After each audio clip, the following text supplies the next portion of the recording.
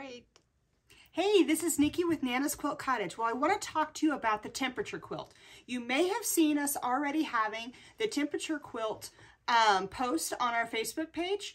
And you may have heard about temperature quilts maybe three years ago or just now I'm the first one talking about it to you. But we want to talk to you about temperature quilts. It's a fun way to chronicle the whole year of what the temperature is outside in a quilt. So it's 365 blocks. Now don't get scared, that's not too many because our blocks are only four and a half inches, four inch finished. So they're really tiny little squares and they're very doable. And I'm gonna sew my blocks at like each week, so seven little blocks. It'll just take a moment to sew them. But I wanna show you the color palette we're using. We're using 12 different fabrics in our um, temperature quilt. So we're going from below zero to single digits, tens, you know, the teens, 20s, 30s, 40s, 50s, 60s, 70s, 80s, 90s, and anything above 100. All right, so we've got a fun palette. Now, actually, these are a few. Of these are out of order a little bit for what I'm doing, but you can use your palette however you want. We do have three of our palettes available here at Nana's Quilt Cottage. Now, this is the beginning of January of 2023, so if you're watching this video and it's, you know, two years from now, obviously we still don't have these palettes, but the information in this video will, will be helpful to you if you choose to make a temperature quilt. So what we're doing for our temperature quilt is out of our palette, we're gonna cut four and a half inch strips of fabric. You're gonna cut out four and a half inch squares. And then when you can't cut any more squares, you're gonna cut one inch by four and a half inch sticks. Okay, these little sticks are gonna be part of our process. So when I'm chronicling my temperatures, okay, this is my 40 degree temperature. So this was January 1st. Um, let's see, wait. Yes, I think that's right. I can't quite remember exactly which order, but this is my uh, 40, 40, I think it's 40 or 30. I don't know. I'd have to look at my paper. Anyway, this is to show the different things. So whatever your high temperature is, is your four and a half inch square. Your low temperature for the day is your colored strips, your little bars. The sticks is what I like to call them, okay? So it's very simple to make this. We will post a picture of the pattern later, but I thought the video will be enough for you guys to go ahead and get started. So four and a half inch strip of fabric, cut out squares and sticks, okay?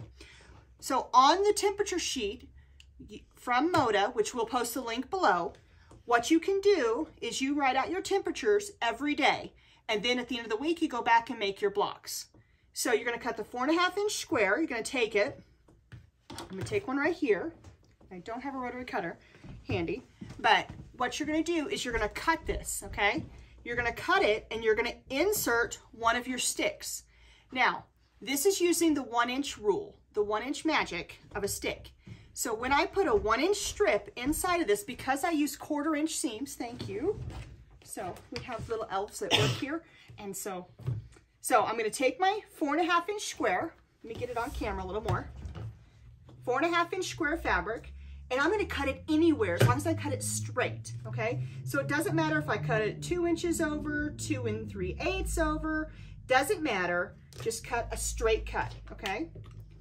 So I'm gonna cut it two and three eighths is what I cut this one, but that doesn't matter, whichever one you wanna do. Oop, okay. All right, then what you're gonna do is take one of your sticks, these are one inch wide, and then we'll sew with a quarter inch seam down the side, and then press it toward the stick, and then you're gonna sew your other side on, okay? Now it looks like this. Now this is the rule of one inch. So if I put a one inch strip in here, because of the seam allowances, my block will remain being four and a half inches wide, okay? So our goal in this is to make a plaid kind of thing of our quilt when we're done. So four and a half inch square, one inch strip, cut it, sew it in.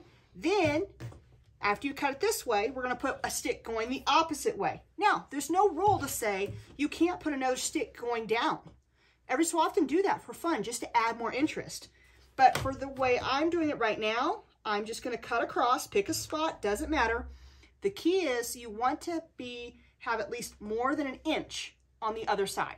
So I don't wanna cut this, since this is four and a half, I don't wanna cut over any more than three and a half inches because it will get um, too much in the seam allowance, okay? So I'm just gonna cut over. This blade has a nick in it. Okay, and then I'm going to take and put my second strip in here. My next purple strip in, just like this. Okay, and sew it in. Now, make sure you keep your strip going the right way. You saw that for a second? Had I sewn it the other way, it'd have been in the wrong spot, and then it wouldn't make the same plaid effect. Okay? Now, I know some of you, as you're going to make these blocks, what's going to happen is you're going to be writing down your temperatures and be like, oh my gosh, the high today was 39 and the low was 31. Okay, no problem. Then you're just going to put one solid block in that day. And I think in the overall look of the quilt, because it's supposed to be an off kind of plaid, it'll look kind of neat to just have some blank blocks that don't have any sticks in it. Or like I said, do the double sticks where two sticks go up and down, okay? Or when you put the block in, they're side to side, doesn't matter. It's your quilt. So this quilt is actually gonna have 360 blocks on the front. You'll have five extra blocks for the back, okay? So it's gonna be 18 blocks across by 20 blocks down. So we'll sew 18 blocks together at a time and make rows, all right? So we'll put another progress video in a few weeks to show you what the quilt starts to look like.